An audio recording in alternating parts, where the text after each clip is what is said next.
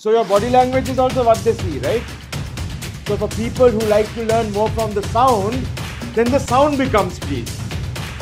Auditory digital is the people who want the facts.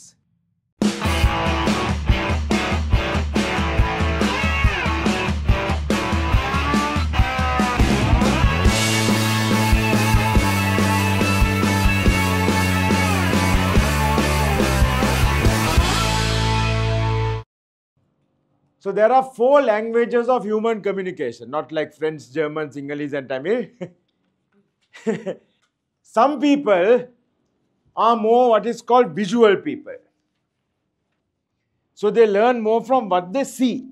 So there are people have ability to see, create, visualize, dream. Right? You can see the big picture. So when you're speaking, also when you use words like now from what you see, this is what you learn. Then visual people in the audience, ah, Maratherna, Maratherna, because I am a visual person. Auditory. So no matter what the people see, now we are talking of what the people see.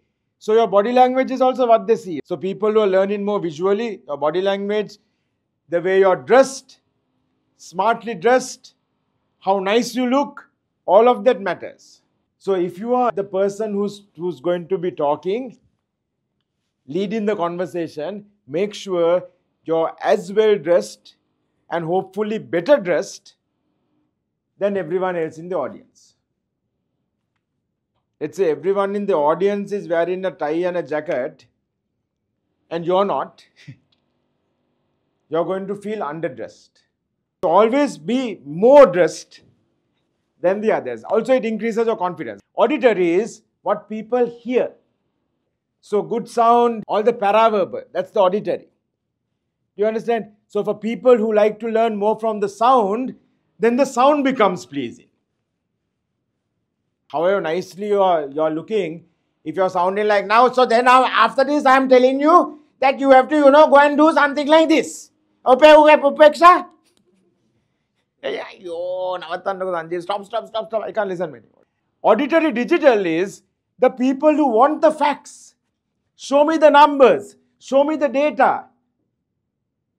So when I say the best TED speakers have 475 more gestures, uh, gestures in an 18 minute talk, now that's a fact. That's numbers. So that's auditory digital, right? You're hearing the numbers, you're seeing the numbers. There are numbers, there's facts, there's data. So then you feel, ah, good. Kinesthetic is, or kinesthetic is, we have to somehow get close to the audience. It's not physically close, it is you feel emotionally connected with the audience. So, even what you feel, if you feel connected, if you feel wanted, if you feel valued, if you feel you are important to me, that's all kinesthetic. And then if you also shake hands, there's the human touch that comes in there. So if that's the four languages of communication, right? We want to be communicated visually, auditory way, through feelings, and through the data. So then if you can cover all these, you're actually able to link up with everyone in the audience. Because different people learn in different ways, different people are looking for different things. අපේ හැමෝටම ඕන දේවල් දෙනවා. Then everybody feels good. So how do we do this? Visual, energy and excitement. That's visual, right? So I'm talking to you now, doing this, that's all visual. You're feeling, you're getting the energy, also feeling the energy. You're feeling that connection, you're feeling that warmth, you're feeling that you're important, you're feeling that we care. All of that is feelings. Auditory digital which work, data and analysis, and auditory has to be easy to listen in, listen to. Please in on the ear.